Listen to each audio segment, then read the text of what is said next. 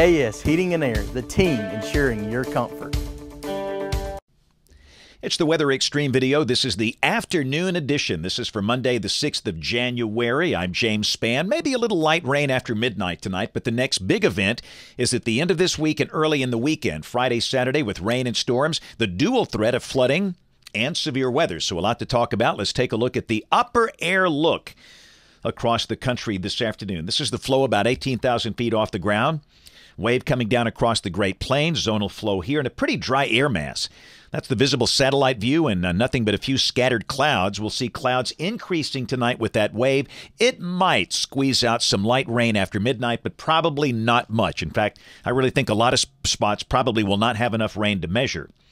Feels pretty good today. We're seeing a lot of 60s on the board. Birmingham at 64, upper 50s up in the Tennessee Valley. And around the nation, no really bitterly cold Arctic air. The true cold Arctic air is trapped up north in the higher latitudes, and uh, some of that will come down in the western states within five to seven days, but the eastern United States will likely stay pretty mild for January. Winter storm uh, issues up north in the northwestern states, parts of Idaho, Washington state. Winter weather advisories for parts of the mountains of West Virginia, Virginia, back into parts of Kentucky. Things are quiet down here. No thunder expected through tonight. But the focus is later in the week. This is the day five severe weather outlook for Friday and Friday night. And we've got a risk of severe storms over much of Louisiana, Arkansas, eastern Texas, southeast Louisiana. A big old 30% circle showing up there, an enhanced risk around Shreveport, Texarkana, Tyler, and Longview. Then on day six, which is Saturday, a risk of severe storms across the deep south, including all of Alabama, all of Mississippi, and some of the adjacent states. We'll focus on this in just a moment as we look at modeling. Here's the rain for the next seven days, the WPC forecast. The Pacific Northwest is wet, and the eastern United States is wet.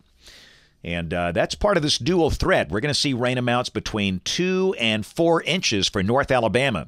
Friday and Saturday, and the ground is pretty saturated, so there could be some flooding issues. Rain amounts for the southern half of the state, 1 to 2 inches. So, model fans, let's go. Here's the GFS. This is the uh, 12Z run, valid tomorrow at 3, troughing northeast of here, and the sky should become sunny. And again, early in the morning.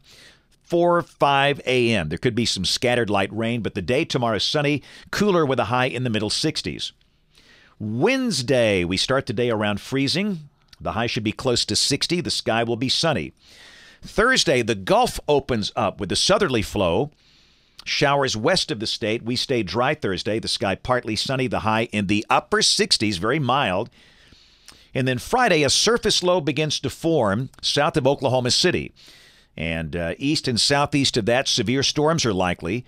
And for us on Friday, we'll mention a good chance of rain at times, maybe some thunder, but we don't expect any severe weather here on Friday.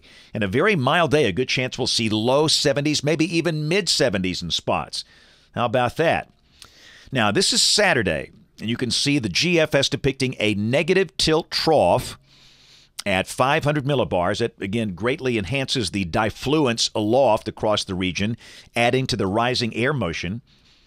Now, the GFS depicting a surface low that's over eastern Kentucky, but the European, with kind of a more ominous look, they've got the surface low north of Memphis, and it's deeper. It's under 1,000 millibars. And understand, this is Monday, the event is Saturday. This will change again and again in terms of the small scale features, and we just don't know that yet. But the synoptic scale certainly uh, shows a severe weather look, no doubt about that. And notice the snow back in the colder air Saturday in parts of Oklahoma, Kansas, and Missouri. Now, this is the instability Saturday afternoon at 3. And this is suggesting parts of South Alabama could see instability values in excess of 1,500 joules per kilogram. Uh, the values 500 joules or so for the northern half of the state, certainly sufficient for severe storms. And again, this is the lightning flash density product coming off the European, suggesting there's going to be a lot of thunder around. But Again, once we get within 60 hours of this day, we'll get those good convection allowing models and we'll have much more detailed look at this. But the synoptic pattern certainly suggests Saturday will be a severe weather day.